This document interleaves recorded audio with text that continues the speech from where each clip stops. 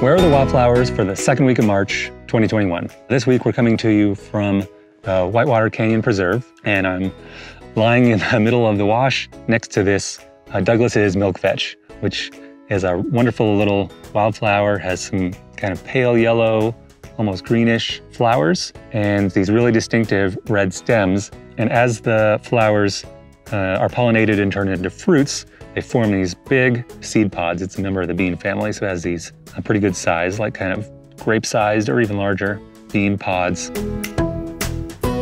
So if you come to the Whitewater Preserve, you'll be able to see this flower and many others. There's really a fantastic variety of wildflowers blooming right now uh, at the preserve, all up and down the Pacific Crest Trail. So we started hiking at the preserve and hiked up the Pacific Crest Trail to Red Dome and back again.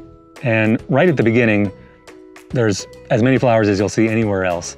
Uh, you may have heard that last year in the summer of 2020, there was a fire at the preserve. And when it happened, it seemed like it might be a, a, really terrible thing for the preserve. And they did had to do quite a bit of repairs on fences and signs and telephone poles and those kinds of things. But as far as the environment is concerned, the fire actually can be a very beneficial uh, process, a natural part of the cycle of renewal.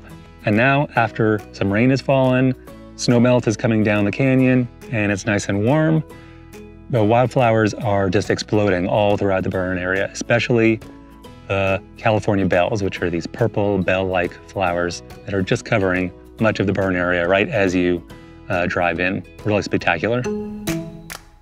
In addition to those California bells, we also saw poppies,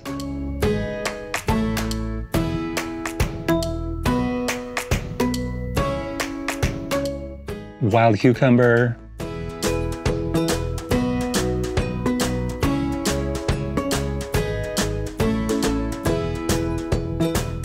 blue dicks,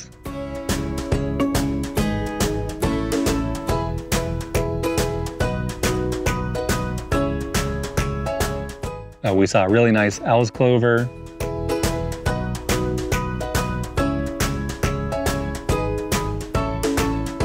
So we've seen a lot of the same flowers that we saw last week in Mission Creek, which is right over the hill. We're also seeing a lot of new species.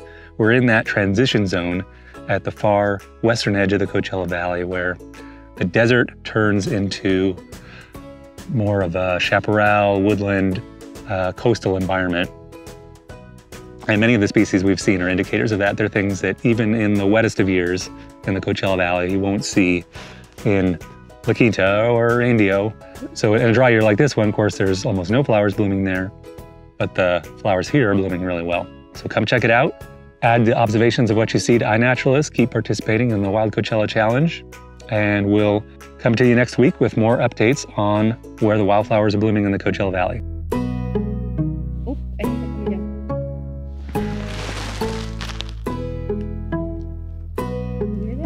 I did. Somebody knocked a rock down.